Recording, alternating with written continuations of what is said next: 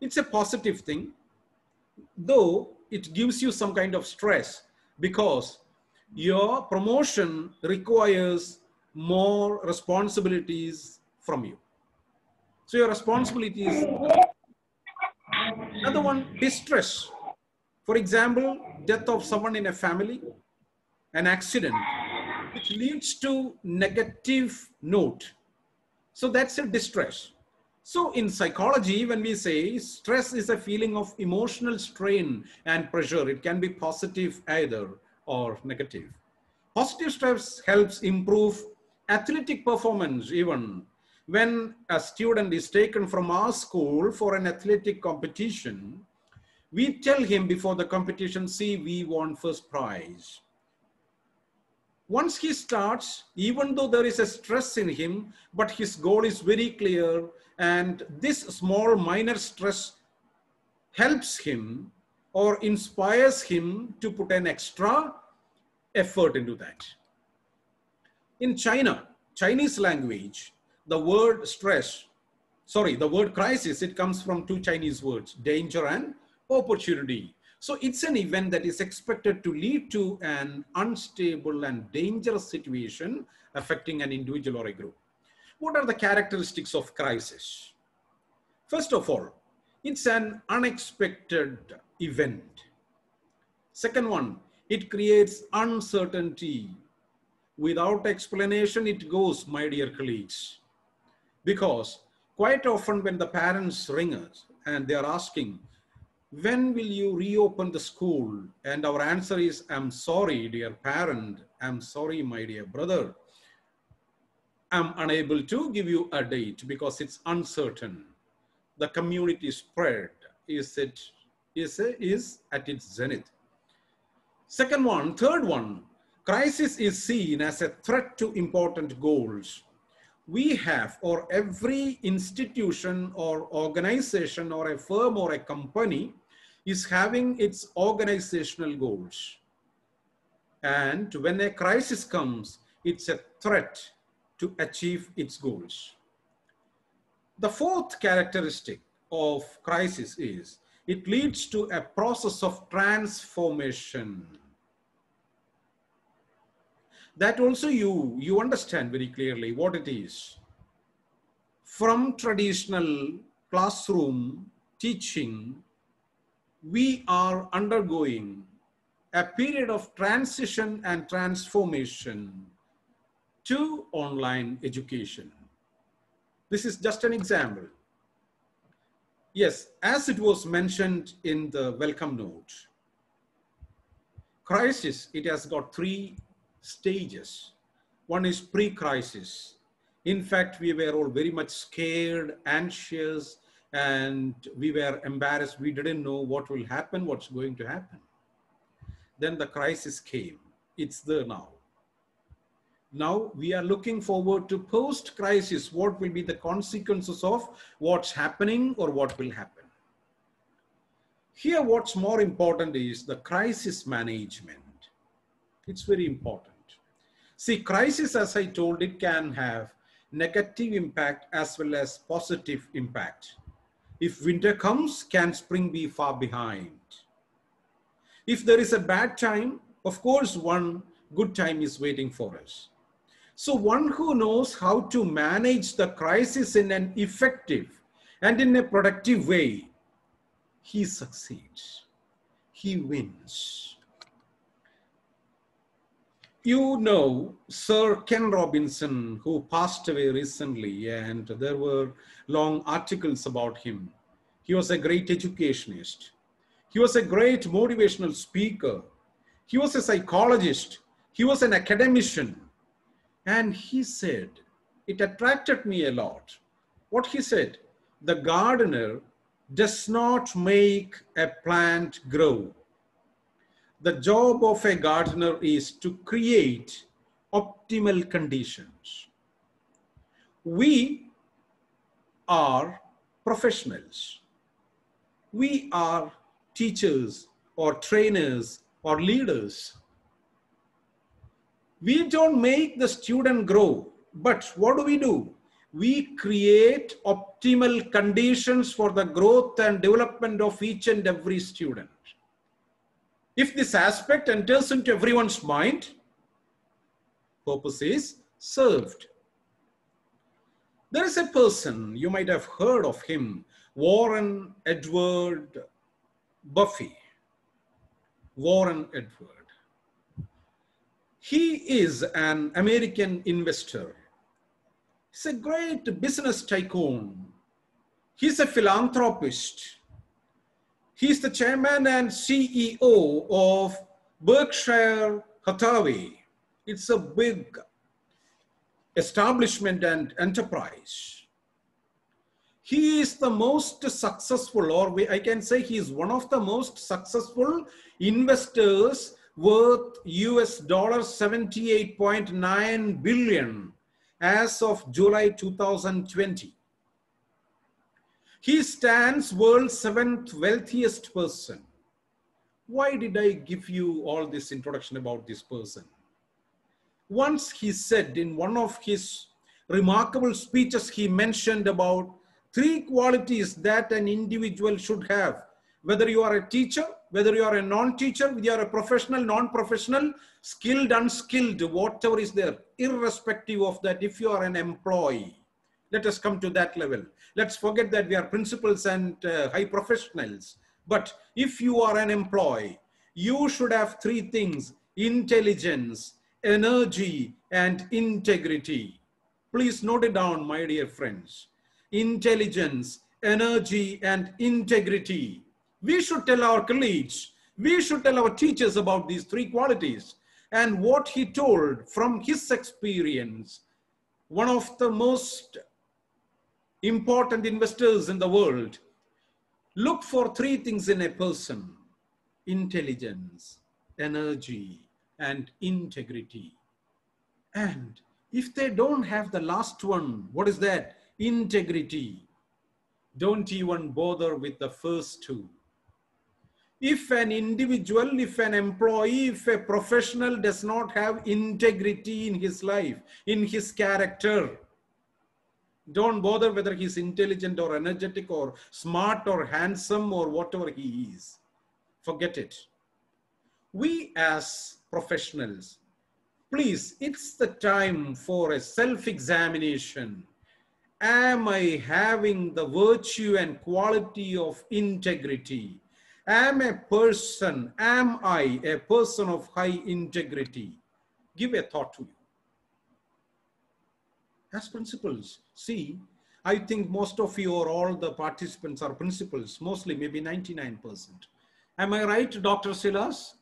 Yes, or yes, all yes. the participants are principals? Yes, yes, all, almost all. Okay, thank you, sir. Thank you, sir. Right. Okay. So we might always be coming across the teachers and we label them, isn't it? Maybe knowingly or unknowingly, we label the teachers. Oh, that teacher is a playful teacher. This teacher is a lazy teacher. That teacher is a corrupt teacher. This teacher is an archaic teacher. That teacher is a strict teacher. This teacher is a teacher with high quality. and this particular teacher is a teacher for the future. we want a teacher for the future. We are not looking for a strict teacher who is a strict disciplinarian running a jail room. We are looking for a teacher who is ever evolving teacher, a teacher who is interested in the professional development, a teacher who is always updating with the latest technology, a principal who is looking always with the latest teaching methodology, burning with the passion and compassion, equipped with the skills to deliver quality all around academic experience. 21st century teacher with focus on self-development, self-improvement, ready to abide by the three domains of learning, cognitive, affective, and psychomotor, three major domains of learning. As a teacher, see, I always, whenever I talk to my colleagues in the school, I always tell, see, you are in this school for two purpose. It should be always there in your mind. One, first one, number one, self-development. You should not tell that I came to this school to make the school grow and develop. Aren't you bothered about your own development? Aren't you really bothered about your own growth, your own improvement, your own professional development? It should be there, number one, because when they focus on their self-development, of course, that is going to affect positively in their professional life. Second one, the institutional development. I'm sure, my dear friends, you will agree with me in this aspect as principals. I am sure the teachers who are attending the professional development programs, the teachers who are voracious readers, the teachers who are doing researches, the teachers who are writing articles, the teachers who are attending CBP capacity development program by conducted by CBSE and all the other agencies, third party agencies of course, when they are going to benefit individually, that benefit is being shared with the institution. When I tell institution, the benefit is given to the students and parents, whoever stakeholders of the institution are. What is reality of today's education? You are going through a crisis. That's why I've incorporated these topics. What's the reality of today's education? Mm-hmm whatever happens, whatever we say that the technology is very much dominant in the society, debate is going on whether the technology can replace the teacher. Now the parents started realizing, no, teachers are important. Before, when the students were coming to the school, the parents were not sometimes, some of the parents, they were not happy with the teaching. Sometimes they were telling, oh no, we are not very happy with the, with the teaching or the teacher and then the discipline is not there. Now parents are fed up. They are calling and telling that, see, when will the school reopen? I used to ask the, the parents, what happened? Are you fed up with your children at home? Are you not able to control your children at home? When we were having them in our school for six to eight hours, we were making them disciplined, we were training them. Now they are at home with you. Are you fed up? Yes, that's true. So teachers are still the backbone of the education system because the students in the in the past, the teachers were transferer of knowledge. Now, no, not only that. For that, Google is there. A lot of uh, software programs are there. Teacher is not that much required only to transfer knowledge, but the soft skills, social skills, communication skills, innovation skills. A lot of skills are associated with every individual where a real teacher of 21st century, teacher for the future is required. With changing times come new challenges. COVID-19 scenario, maybe post, see previously in the, in the pre-COVID-19 scenario, some of our teachers, they were totally ignorant about laptop operation. They were ignorant about MS Office. They did not know how to, they did not know how to edit a Word document, how to create a PPT. Now we can see, now, now we know that our teachers are experts in that. They learned it. Why? Changing times come new challenges. And we are ready to face. Hats off to my dear co-principals, fellow principals to you, because we trained our teachers to cope up with the situation. Now all the teachers are giving successful online classes. Then we cannot face new challenges with the same old tools. We need to find new methods. There comes the relevance of a great leader that is the head of the institution, the principal. Every stakeholder needs to evolve to meet the demands of change. It's not only the responsibility of the principal, we need to make the parents understand. You are one of the stakeholders in the process of teaching and learning, and you are seriously involved in this. Some major challenges faced by our teachers, like how do I move beyond traditional teaching? When we introduced online teaching, some of the teachers, they might have raised this issue. How can I move away from beyond from traditional teaching? How do I develop activities beyond that is challenging as well as engaging? The activity that you frame or design that should be challenging, that should go beyond the intellectual capacity of the students and at the same time it should be engaging. How do I utilize available resources? How do I handle expectations of demanding parents?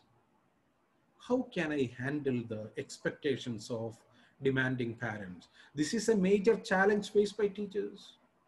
We know that even trolls are there, cartoons are there, what the teacher is spending time as it happened at the beginning of our session.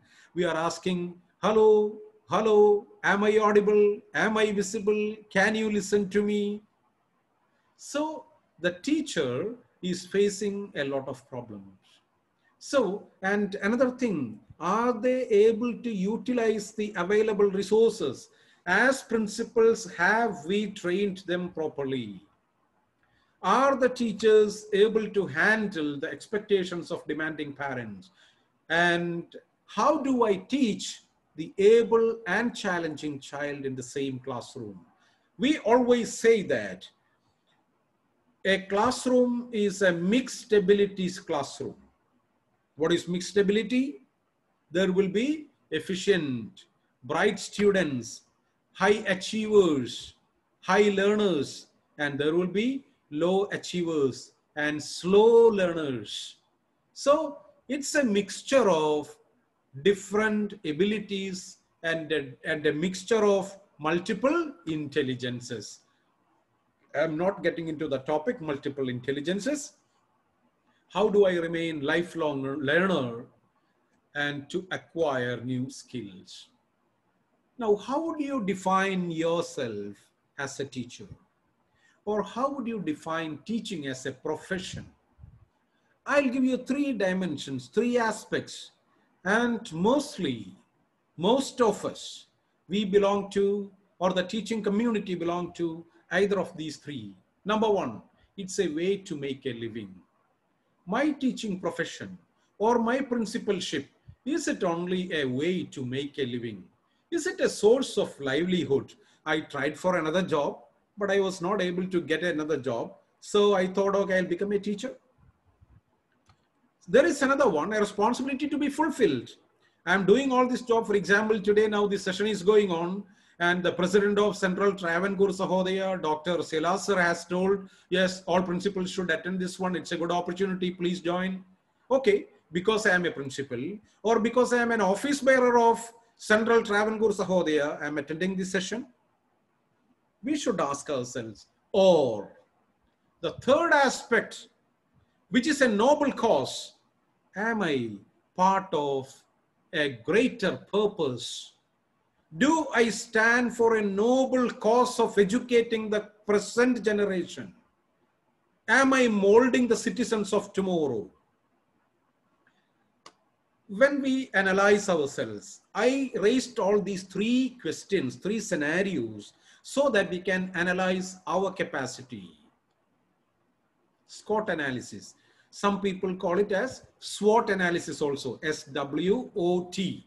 SWOT analysis means we know strength, weakness, opportunities, and threats. SWOT analysis. SWOT analysis means strength, challenges, opportunities, and threats. So what do I mean by your strength? What are the challenges in front of us as a principal? How will I identify my the challenges in front of me? What are the opportunities open in front of me? How can I utilize them? At the same time, what are the threats to achieve my goals? Strength. We can write down the answers. If, if there is a pen and paper right in front of you, there is nothing wrong if you jot it down so that this will be a very good opportunity for you to find out your strength Write down answers to the following questions. Where appropriate, use similar questions. Strength, what are your advantages? What do you do well? For example, you speak well, you are a good speaker. You are a good orator. You are a good planner. You are a good time manager. You are a good organizer. You are a person who can liaise with the management and the parents. You are a good mentor. You are a good budget planner. You are a good facilitator. So what are you? Which aspect of yours are you able to do in its excellent manner? What relevant resources do you have? If you say that I am good at this one, what are the relevant resources you have? What do other people see as your strength? At the same time, think it's a time for introspection. Ask yourself, when others appreciate me, what are the things that others see in me as my strength? They might say, no, sometimes after the meeting, they are coming and telling that, oh, ma'am, Nisha ma'am, your speech was excellent. Ma'am, the graduation program that you conducted, oh, it was well organized. Ma'am, the annual day programs, you selected the programs according to the quality. So what do other people see? Next one, challenges. What could you improve? When we do the sessions, no, we always ask, okay, where, what are the what are the weakness in you? So instead of the term weakness, what I feel is challenge or room for improvement. How could you improve? What are the aspects that you need to improve? What are the aspects that I need to improve in me? For example, if I am a person short tempered, who is short tempered? I need to improve myself because being in the position of the head of an institution, it's not good to be short tempered. I need to be very mild I need to solve the problems in a very soft and calm way, in a balanced manner. Another one, what do you do badly? Maybe my writing skill is not that much good. I'm not an English teacher. Suppose I'm a mathematics teacher or I'm a science or humanities teacher, science or uh, mathematics, EVS or social science teacher. My English is not good. Quite often when I draft the letters, I make a lot of mistakes if you feel that it's a challenge in front of you. What should you avoid? There are certain things you should avoid. Maybe the language that you use. So consider this from an internal and external point of view. Next on opportunities. What are the good opportunities facing you? For example, the location of your school. Is it in the heart of the city? Or what are the good opportunities facing you? What are the interesting trends you are aware of?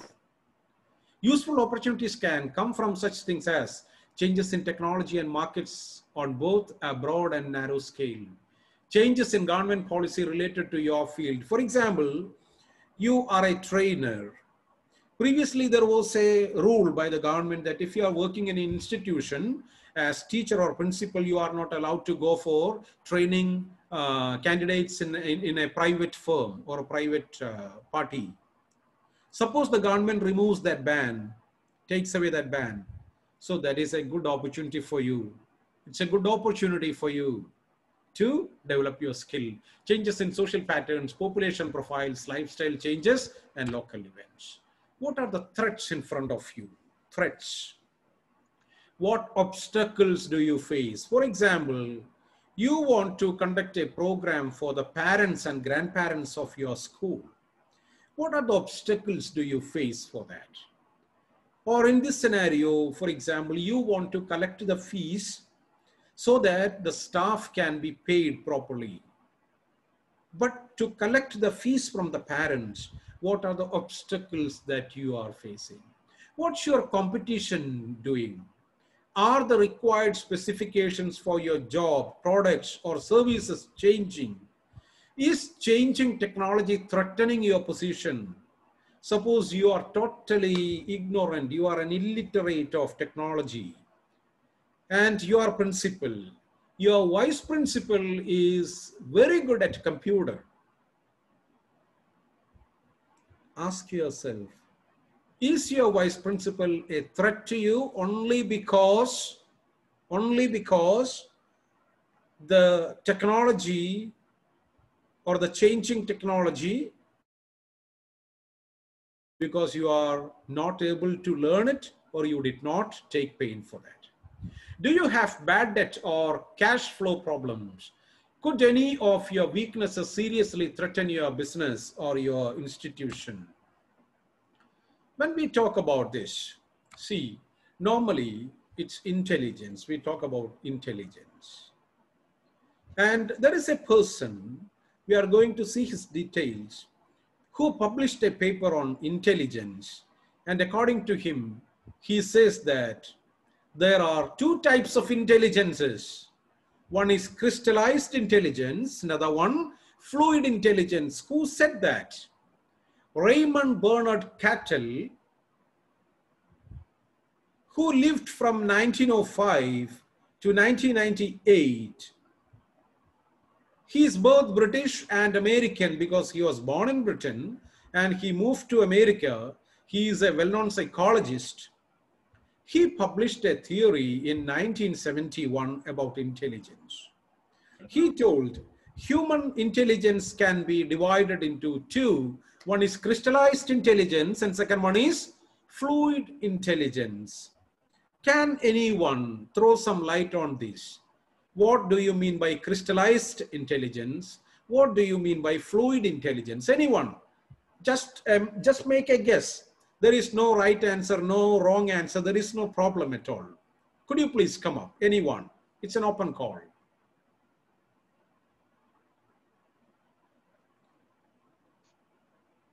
Hello, sir. Hello, ma'am. Yes, please.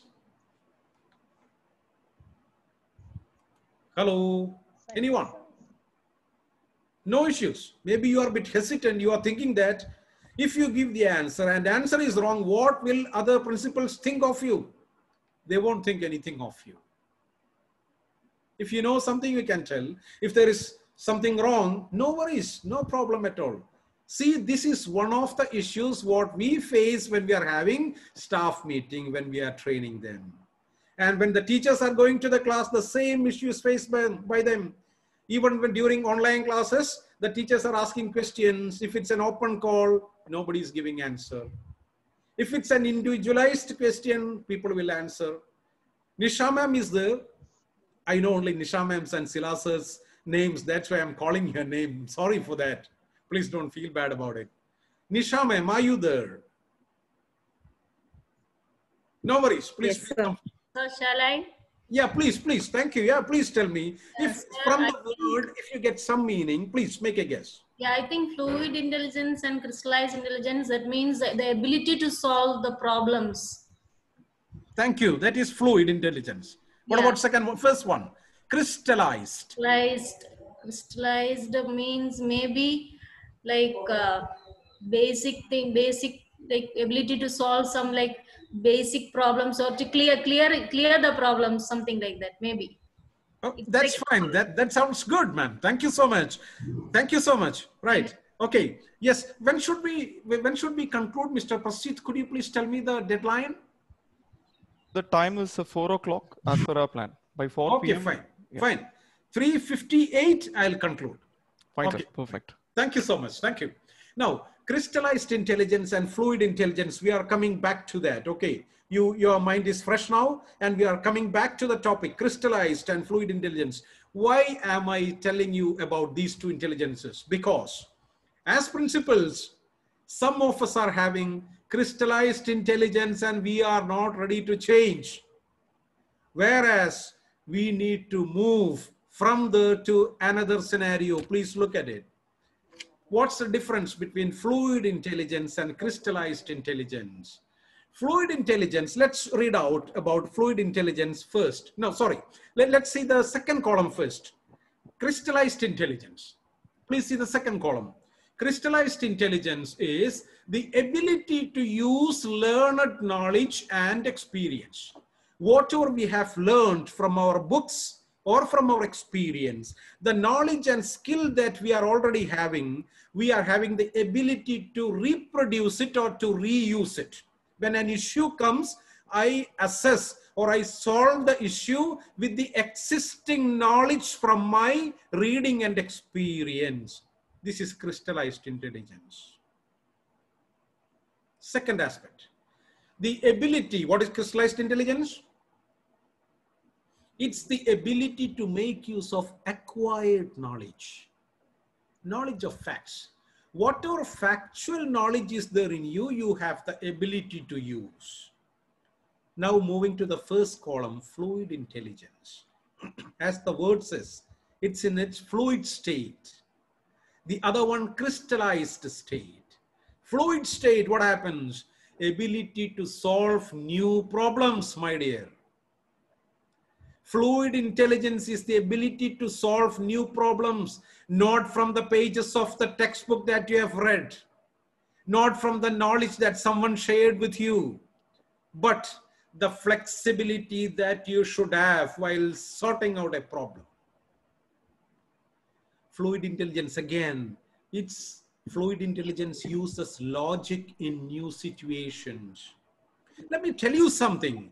Yesterday, I was attending a session. It was an orientation session, and I'm sure Mr.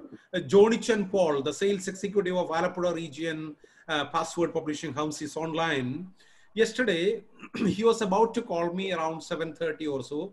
Mr. Prasid told me. So I told Mr. Prasid, please, you can, if you don't mind, please call me after 8:30, because 7 to 8:30 was my orientation for NEET exam our school is center and most of you will be having your school as center. And there, uh, maybe I don't know whether I was surprised or many people got surprised. Some of the people, some people, some uh, center superintendents and deputy superintendents, they were asking certain questions which may arise in certain situations. Now, we know there is no hard and fast rule for all of your questions. That's why we believe God has given us prudence. And every solution varies from case to case. Whatever is applicable in Crescent Public School, Chalakudi may not be applicable to Pathanamthitta School, Newman.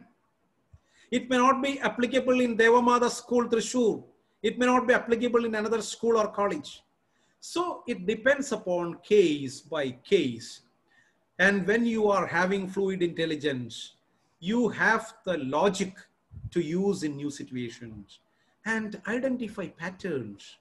Fluid intelligence is having working memory capacity.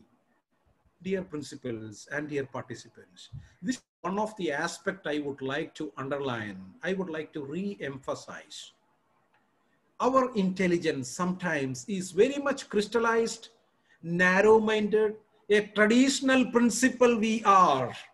We are very much highly focusing on discipline, disciplinarian, isn't it? I'm sure uh, all of you belong to Kerala and you have watched a movie eh, where Thilakan is the mathematics teacher and he says that, he says what?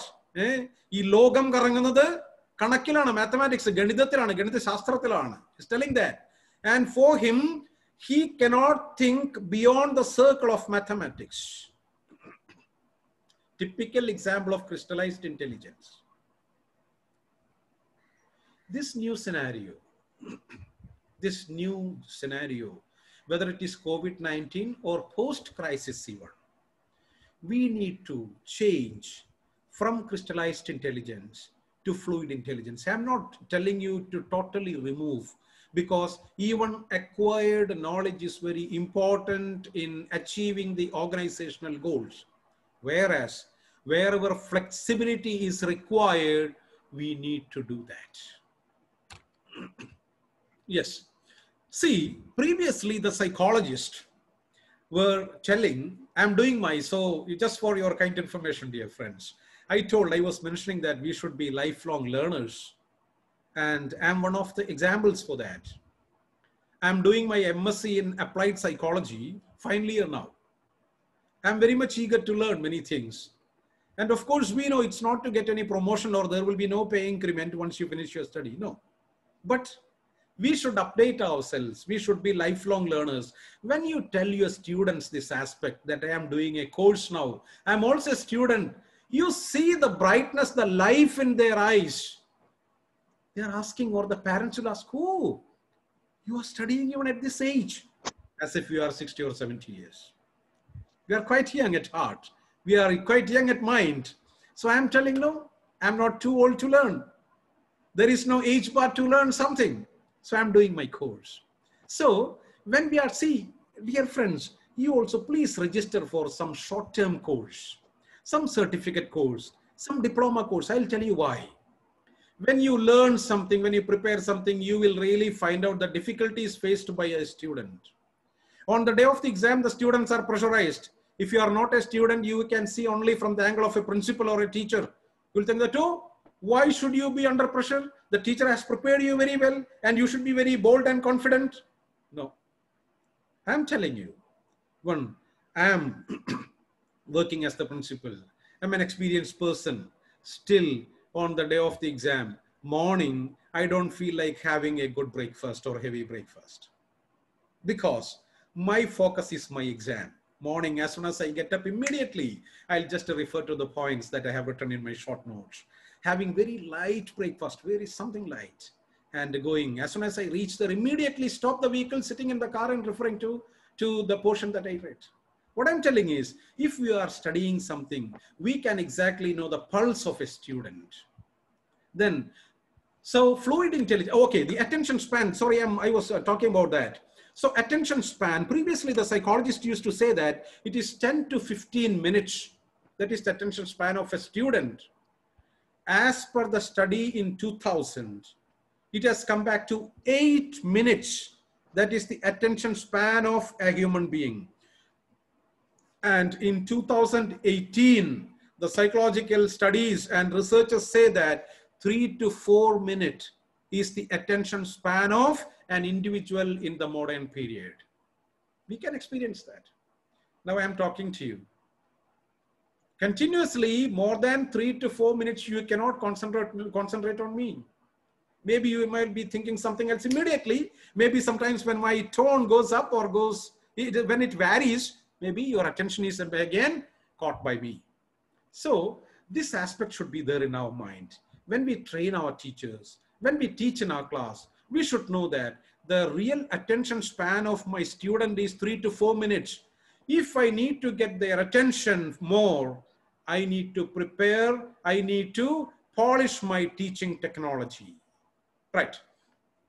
Fluid intelligence is the capacity to learn new information. This is by Andrea Kuszewski. Yes, he's telling that. It's the capacity to learn new information, seek novelty, and change yourself and think creatively.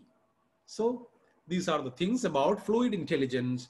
And Dr. Sternberg, he was the former dean of Tufts University.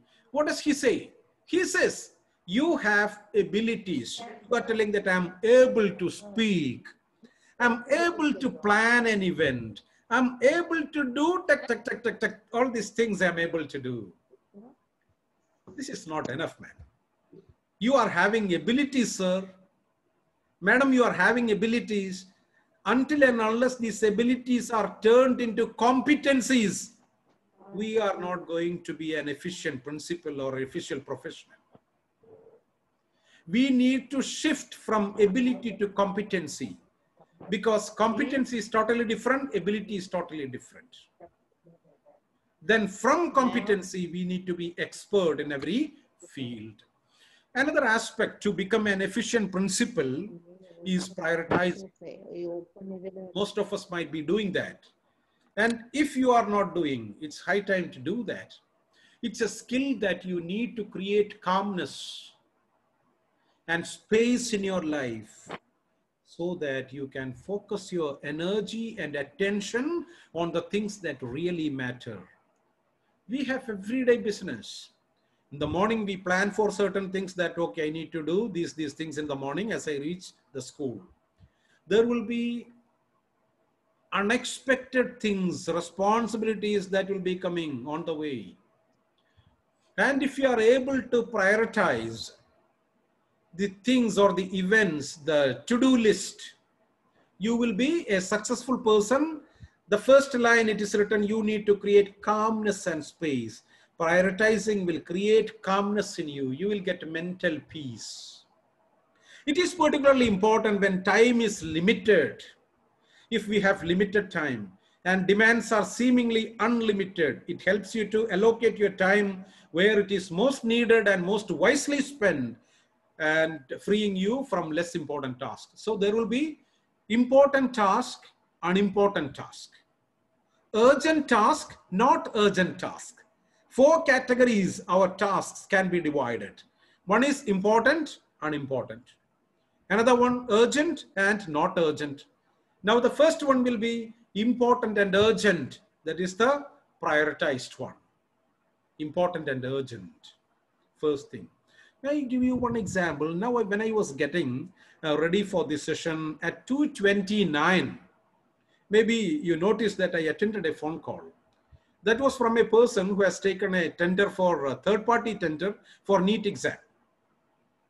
He called me and he was start. He was discussing with me that the what is it the arrangement, the security guard and the female uh, people who will be coming for frisking and other things as soon as he started, I told him, please excuse me. Can I give you a call after 4.30? He asked what happened. I told him, I'm sorry. I'm just waiting for a webinar to start. I'm just giving you a very simple example from my life. What I'm telling, that time, my priority is to get ready to mentally and physically get settled for this session. I did not want to rush for the session, talking to him for two, three minutes and asking you, pardon, I am sorry for being late and all. No, I don't want to apologize for that. So there will be certain occasions in our life where we need to prioritize the events in our life. Then we are moving to next point. What is quality teaching? When we prioritize all these things as principals, we need to focus on a few aspects. Quality teaching, what is that? One is intellectual depth. To be an excellent teacher, intellectual depth should be there. When we were young, we know that when we ask some doubt, if the teacher is telling, I will give you the answer tomorrow, or if the teacher is telling, I don't know, how do we say? Or what do we say? Once the class is over, we will tell, we will come home and we will tell our brother or sister or even our parents, see, I asked this doubt and the teacher did not know. My teacher doesn't know the answer. What does it mean? The teacher's competency in that subject is not there. And that teacher's, the, the student's impression about that teacher has gone. It's very difficult to gain the trust again once it is lost. Second one, communicative competence. A teacher should be very good, very competent, not the word good. I'm using competent. That's what I told. Abilities should be transferred to competencies. Later, the competencies should be transferred to expertise. Now, communicative competence is required.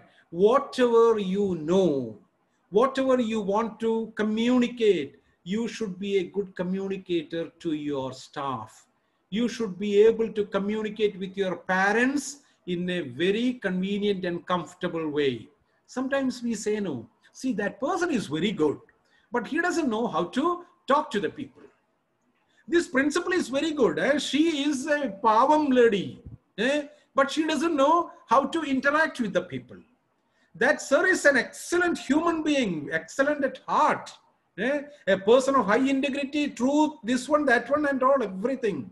But he doesn't know how to solve a problem. When the problem comes, he doesn't know how to convince the parents about it because of lack of communicative competence. We can, we can improve all these things. Another one, capacity for reflection.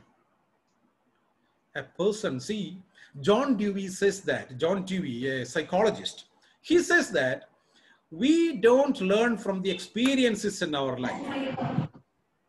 Mr. Prasi, do you agree with this sentence? Do you agree with me?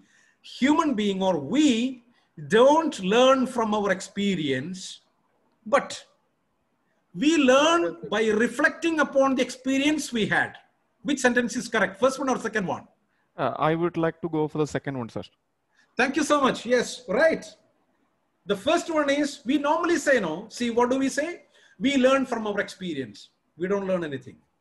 Because the event happened and we just forgot because we found a solution, whatever is there, we found an alternative and that's gone.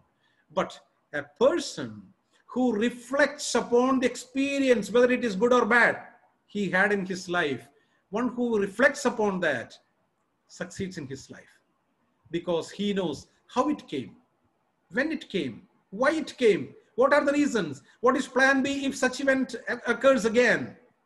So here also what I want to say is as a teacher, as a principal, we need to reflect. We need to have a capacity to reflect upon whatever happens. Self-knowledge, the knowledge that is required. Here self-knowledge means like a self-awareness. We should be knowledgeable about my, that's why I showed you the slides in the beginning, you know, what is it? SWOT analysis. My strength, my challenges, my threats and my, my opportunities I should know what are these things and emotional intelligence. When I talk to you about emotional emotional intelligence, I had a book here. Okay, I'm not sure where it is. Okay, emotional intelligence. Goleman had written an, a, a book, very authentic book named named uh, Emotional Intelligence. Just one second, it was somewhere here.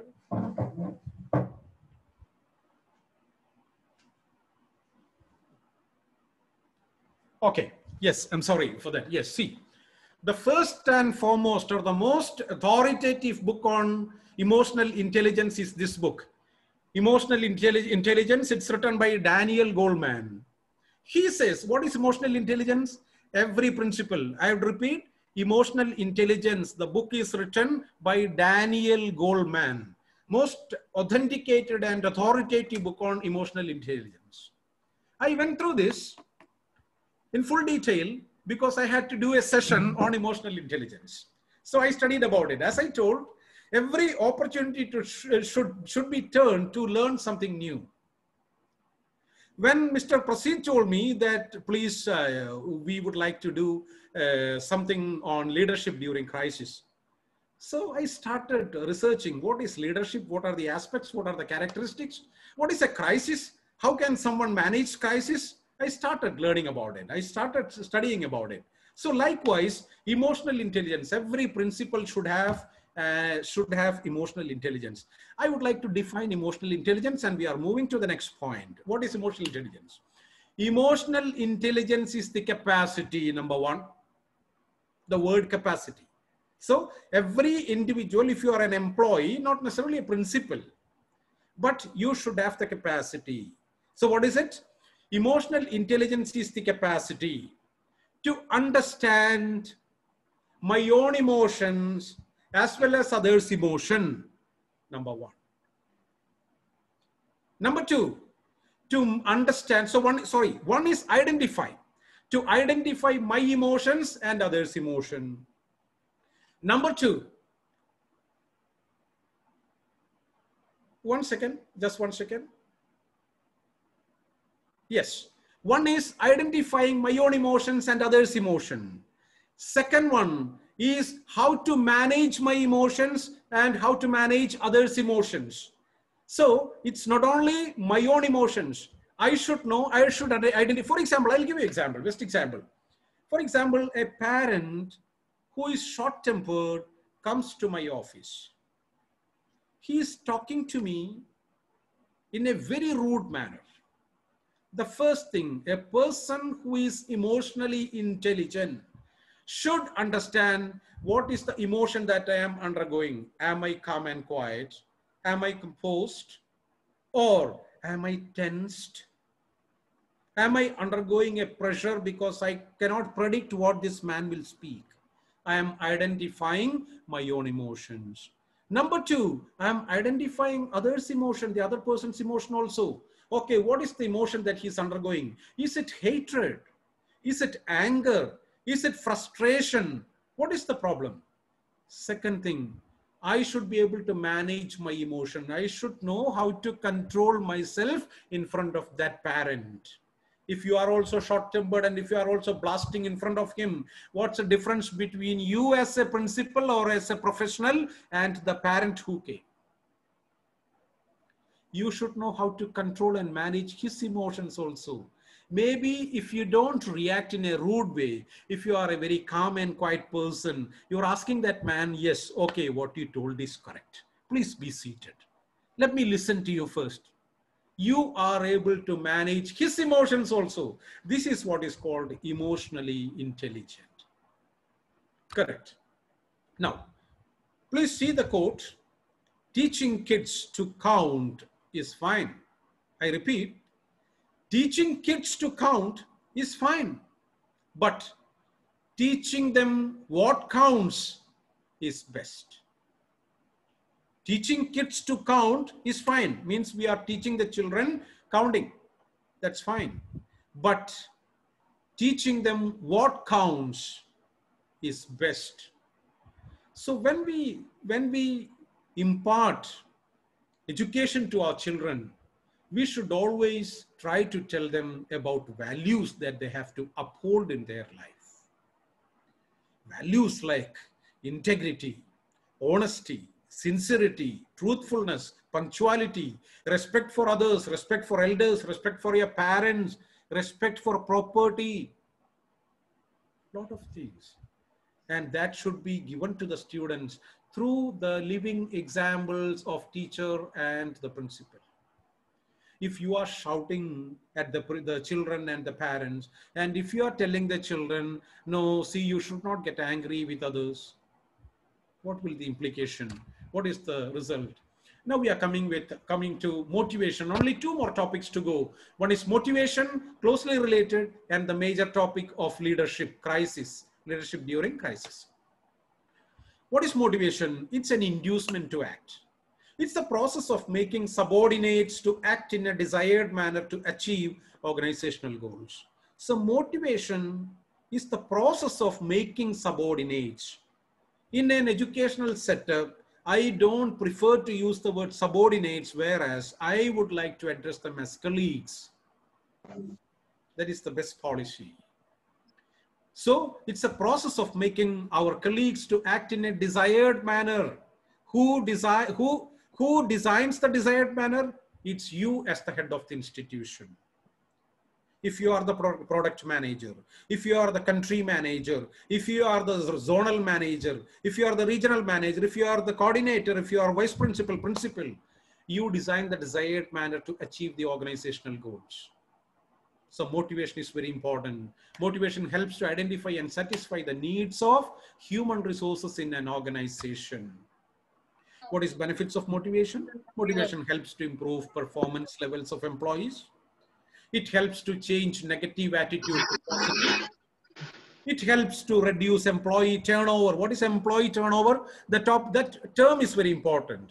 Employee turnover means the number of people who leave your institution, either by resignation or by termination.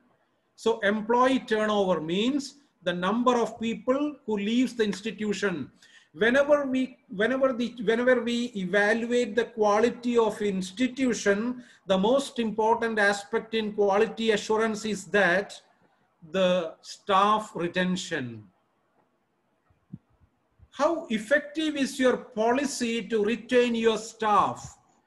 How efficient are you to manage your institution?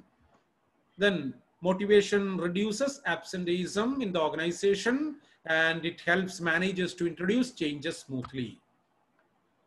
Yes, this is a good thing to know according to Abraham Maslow's need hierarchy theory of motivation. You know, Abraham Maslow, you might have studied in educational psychology or child psychology. He's a well-known psychologist. He published a paper in 1943 about the theory of motivation. And it was based on human needs. Within every human being, there exists a hierarchy of five needs. Hierarchy of five needs. What is that? Okay. First one, is you can see the, the middle column. Okay, first one, look at the first column, uh, sorry, second one, Maslow's need hierarchy theory. Maslow's need hierarchy theory. What is that? First one is physiological needs. Every human being, irrespective of his position, physiological needs are very important. That has to be satisfied first. Second one, safety and security needs.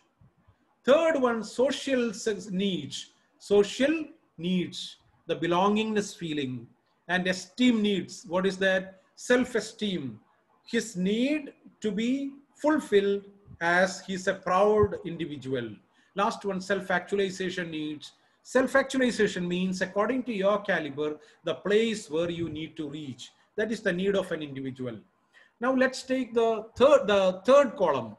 When we compare this with organizational examples, minimum basic salary is the physiological needs of an employee.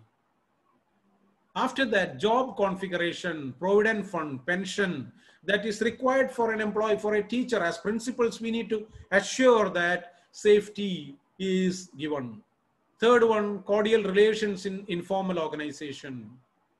Fourth one, after that, if you expect a better performance from the employee, promotion and special status or titles to be given, they should be promoted from teacher to senior teacher, maybe to coordinator, maybe to senior coordinator, level coordinator.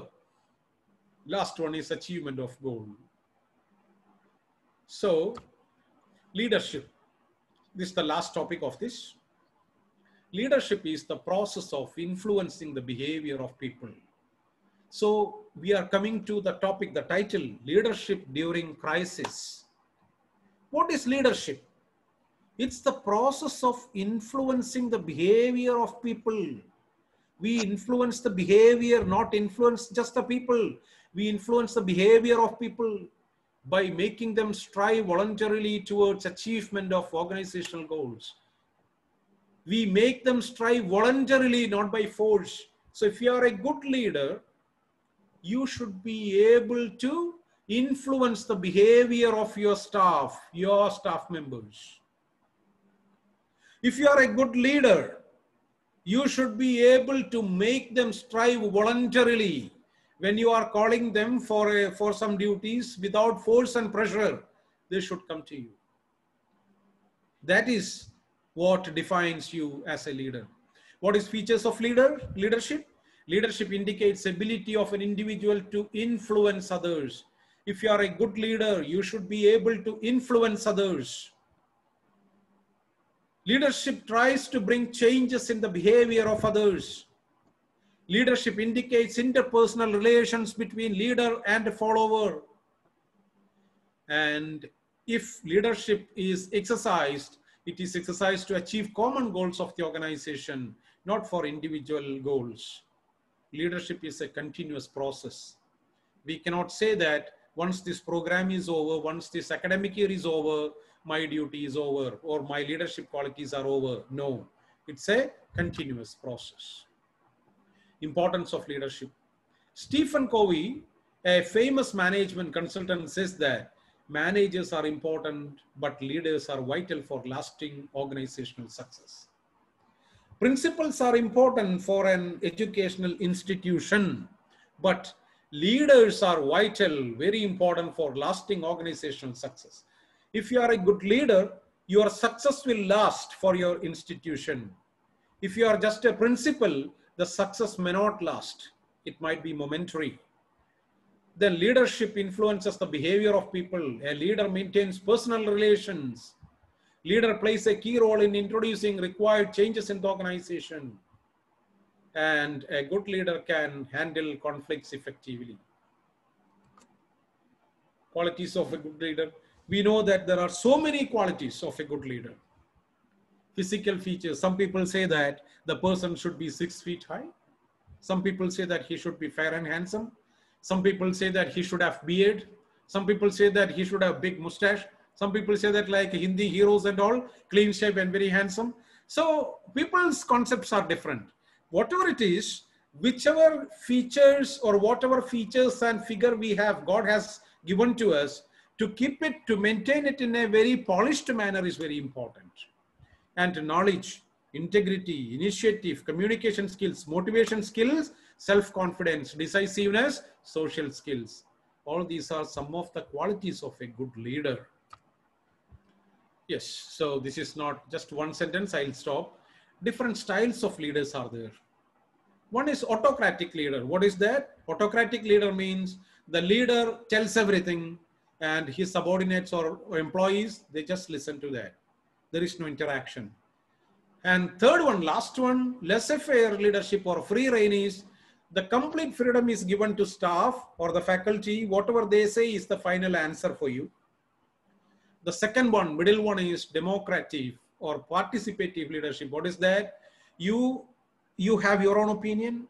You accept others' opinion. Finally, you put up whatever you think ideal and for the betterment of the institution. This is democratic. You can see the interaction between subordinates and leader. And this is laissez-faire or free rein means there is more interaction between the colleagues, between the subordinates, not with the leader. Yes. Now, this is something important. For most of us, the problem isn't that we aim too high and fail. As I told Robinson Crusoe, Robinson Crusoe, sorry, Robinson, um, Ken Robinson, Ken Robinson said, for most of us, the problem is that we aim too high and fail. Sometimes our children, we say that, we say that my child wants to be an engineer and he's not having the capacity, he failed. But he says it is just the opposite. We aim too low and succeed. That is the main problem. We think that this year we have 500 students. Okay, next year we should increase it to 550 or 600 students. And we work only for that 50 per 50 students or 100 students. We normally say, no, if you want to become a collector, if you want to become a conductor, your aim should be to become a collector. When you prepare for becoming an IAS officer, you will be posted somewhere below that. So always we should not aim too low and succeed and be satisfied. Whereas we should aim high and we should succeed. Uh, just one sentence I would like to say concluding that. Um, I think it's Bill Gates. You know, Bill Gates told once, okay, may I ask you something? Uh, as principals, as principals, suppose you have a difficult task, task to be done. So, who will you give it to as principals? Anybody can answer, please. Any of the participants. Will you give it to a strict teacher? Will you give it to a good teacher?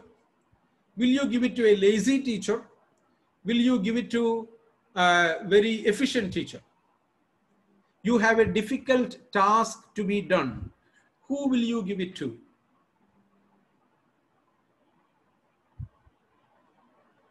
Anybody?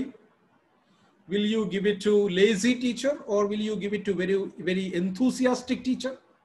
Very energetic teacher? Very Lazy. boring teacher? Eh? experienced teacher. Lazy Pardon me? teacher.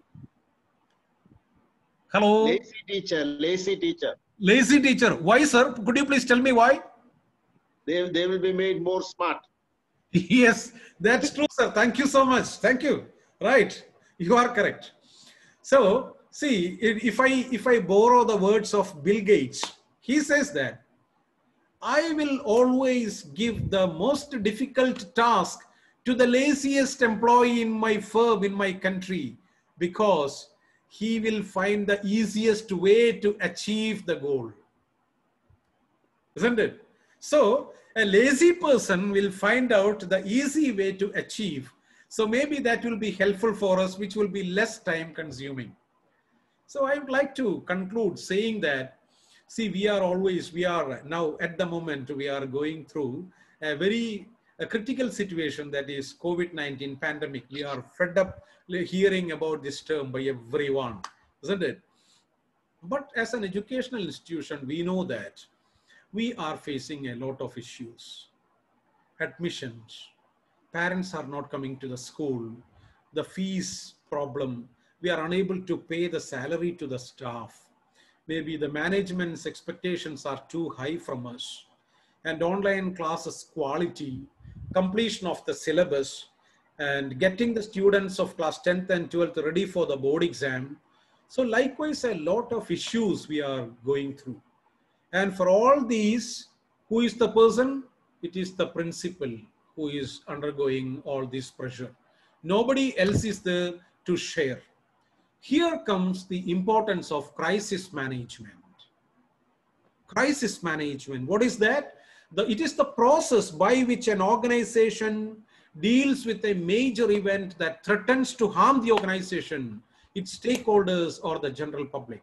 So, crisis management is a process where the organization or, an individual deals with a major event. And crisis management, when we look at the cycle, first one starts with identification. Please be with me for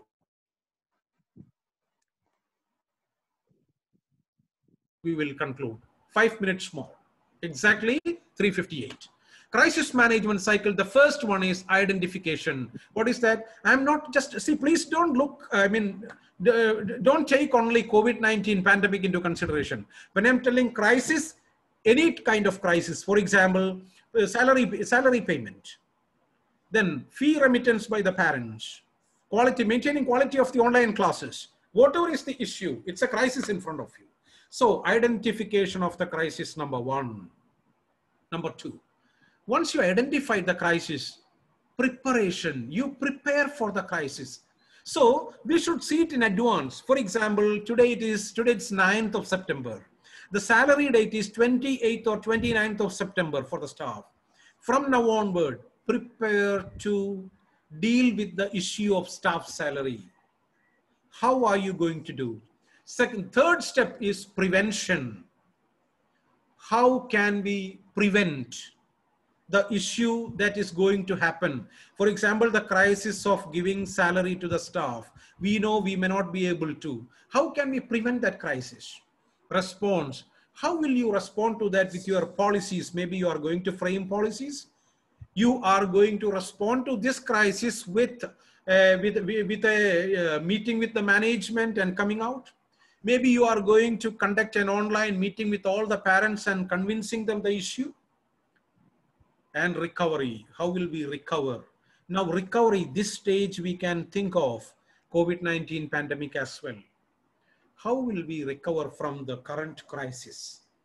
How will we sort out the problem of maintaining quality teaching? I told quality teaching is there, in-depth, uh, intellectual in-depth, this one in communicative competence, tech, tech, and I told many points. How can we maintain that? You are in the spotlight. Principal or the vice principal is in the spotlight. How? In this crisis period. In a crisis, everyone watches what you do. Parents are looking, what is the principal saying? What is the principal doing? Whether you like it or not, you are in the spotlight. I am in the spotlight as the principal. The key is getting out in front of the crisis in its first hours with clear statements, both internally and externally. Suppose you are anticipating a problem of parents' protest. You are there in the spotlight. I, I, I don't know any principal who is here who might have faced any issue, any parents' uh, protest against collecting the fees from the children. If you are seeing it in front of you, immediately come out with a very clear statement, with a clear decision that this is what management or the school is planning to do before the protest bursts out. Accept responsibility and build confidence and credibility. You please don't wash off your hands saying that this is the decision taken by the management. This is the decision taken by the PTA.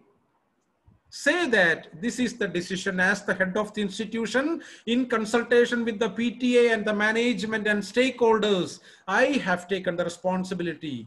Please, dear parents, be with me in this period of crisis.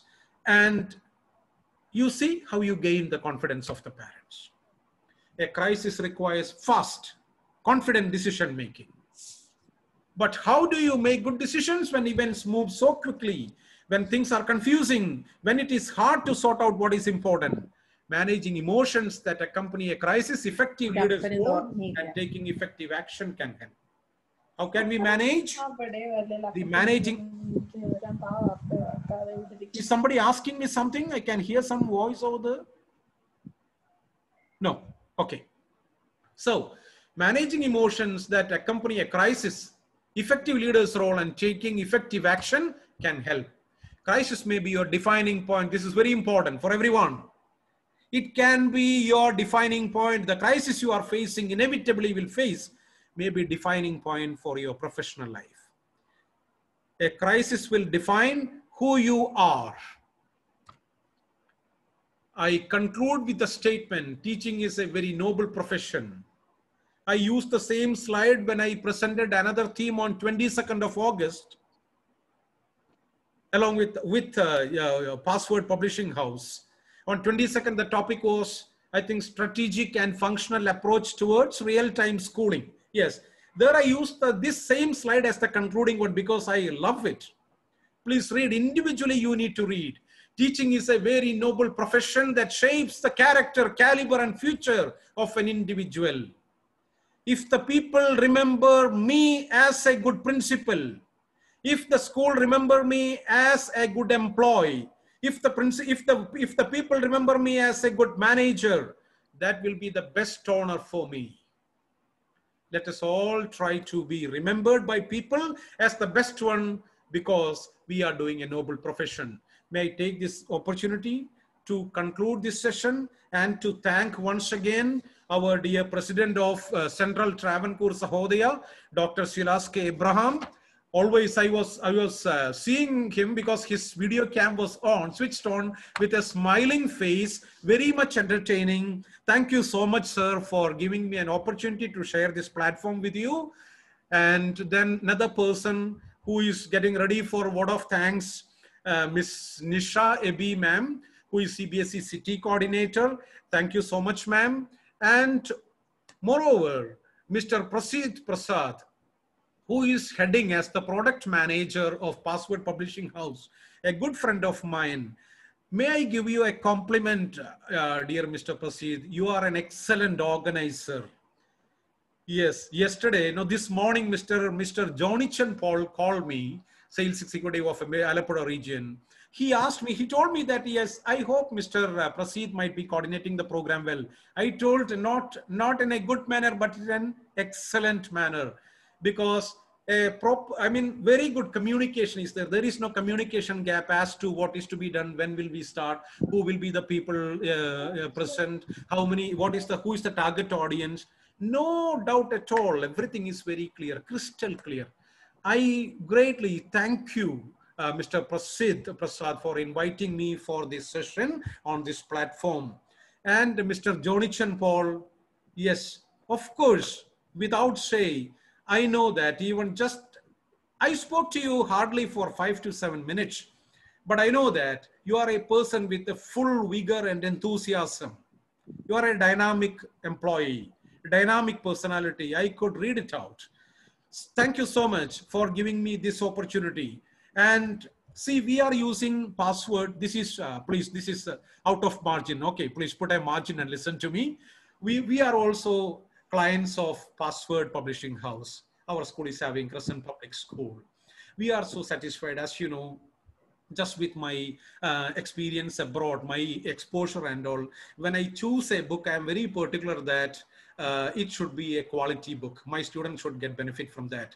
And we are very happy and proud to say that we are the clients of Password Publishing House. We are so happy. I've taken the feedback from my teachers. We are so happy about the book, the quality that you maintain. And Mr. Jonichan Paul was telling that next year you are coming, uh, coming up with more products incorporated with the technology and uh, other devices, maybe other methods, tools. Thank you so much and we wish you all the best dear office bearers of uh, Central Travancore Sahodaya and dear participants, once again, thank you so much and have a great evening and a great time ahead. God bless you. Thank you. Uh, thank you very much, sir. Uh, before we move to the word of thanks, uh, it would be great if uh, two people from the participants, if you can give a very small um, feedback about the session, uh, that would be really great. So you have an option to unmute yourself.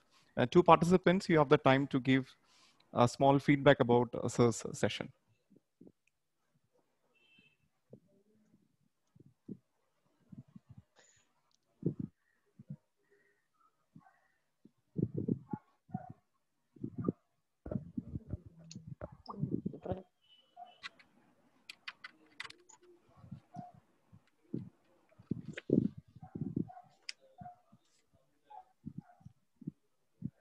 Hello, everyone. We have time. Uh, we have time to listen to two uh, two people. So great uh, if two people could give a feedback about the session. Good evening, all. I'm Dr. Prasanna Kumari, Principal St. Mary's Public School, Makira, and Vice President, uh, CTC. I think I'm audible to all. Yes, ma'am. You're audible. Okay, so uh, the class was very interesting, and I've studied all this when I was doing my MBA class. Actually, uh, all the principals should have the leadership quality, and uh, more classes should be given to them to lead uh, schools very nicely. And uh, Professor Dr. Um, George sir has uh, done his part very well, and he has explained very nicely and i think it will uh, we, this class was very useful to all so thanks to sir and thanks for the coordinator and uh, thanks to silas sir for arranging such classes okay that's all thank you Uh, thank you, ma'am. Uh, can we have one more person with a feedback?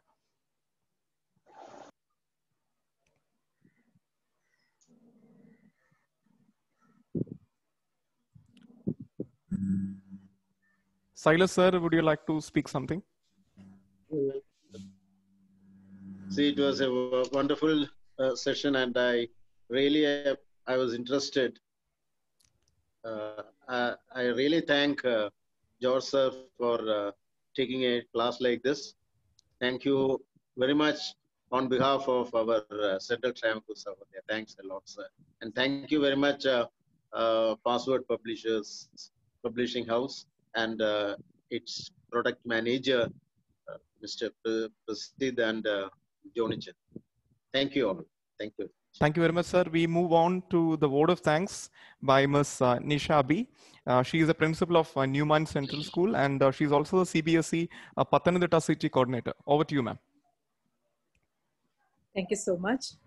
Respected President Dr. Silas K. Abraham, Chief Guest Professor Dr. George Kolanchery, Mr. Prasad, Product Manager, Sri Jonichan Paul, and all representatives of the Password Publishing House and my beloved principals. A very warm good, good evening to one and all. Technology has integrated into every classroom now, as it has evolved as the paper and pen of our time and it is the lens through which we experience. We all know, we are all aware of the crisis which the pandemic has thrust upon the world in general and to the field of education in particular. And to tactfully tackle the situation, we need effective leadership.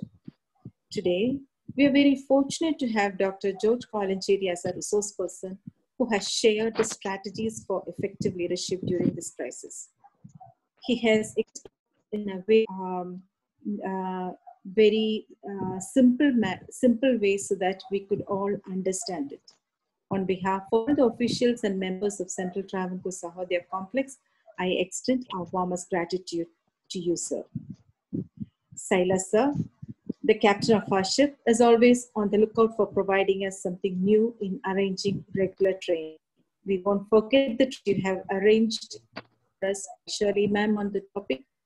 Being digital teacher towards the beginning of school pandemic day of leadership during on behalf of all principals, I extend our sincere gratitude to you, sir.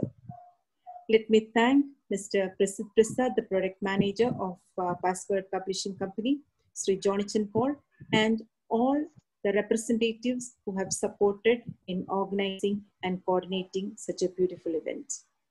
I would also thank our Vice President of CTSC, Prasanna Kumari ma'am, the Secretary George Verghese sir, the Treasurer Sahadevan sir, and all executive members for supporting our President to arrange this wonderful program.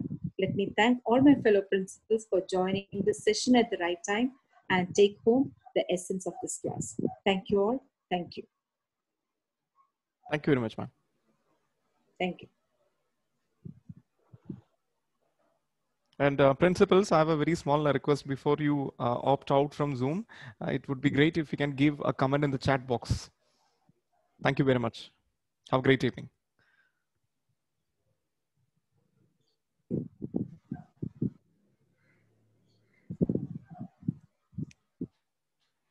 Yes, dear friends, yes, as Mr. Prasid told, yeah, could you please, if you don't mind, please put whatever impression you have.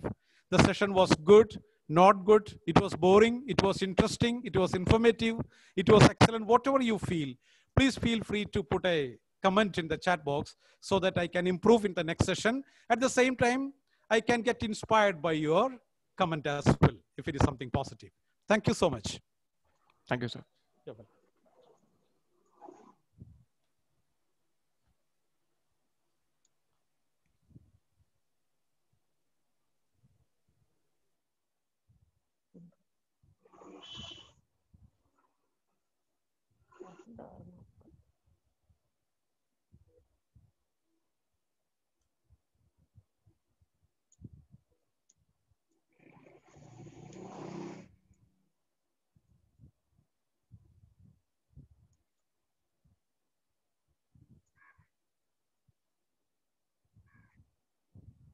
You're welcome.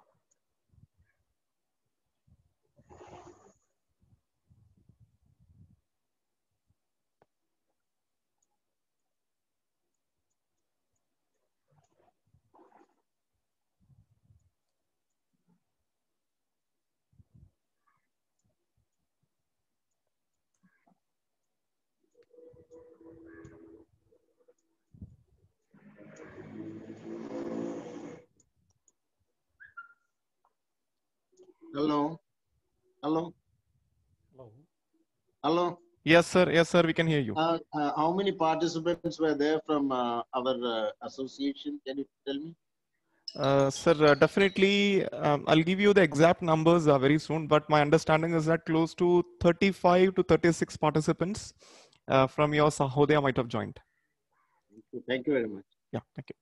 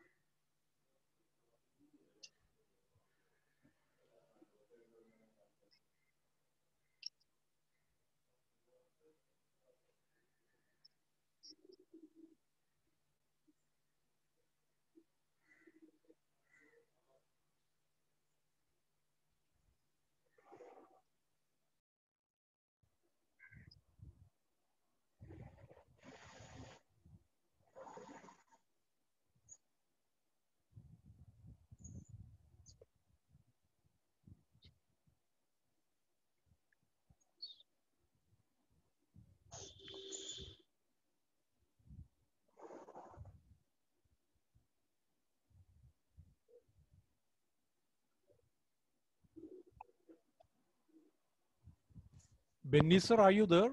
Dr. Benny Varghese from Muscat? No, he has left, I think. Okay.